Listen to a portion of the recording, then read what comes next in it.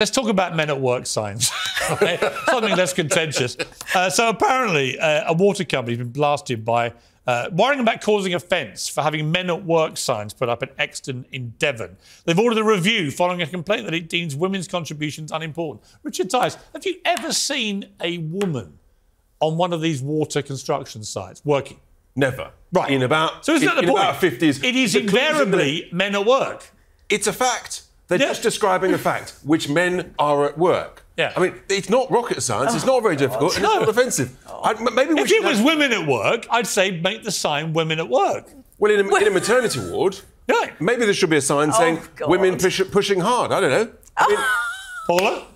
Oh, do you know what? I, I don't know whether to be scared or worried because this is quite unbelievable. Why do we need a sign to say men at work? Why do you need that sign? Why do you feel literally, so most why is construction your sites self-esteem are so men. low that you need a Most sign to say construction men at sites work? are men It's- at work. It's not about what mostly happens. Oh, it's what not is about it? generalising. This is about stating. Even if there aren't Why any do we women, to state it should say men at work. it's about health and safety. It's about working. It's about working. Health it's and not safety. about All right. men. Health it's and not safety. about Unfortunately, women. our work has come to working. a tragic end.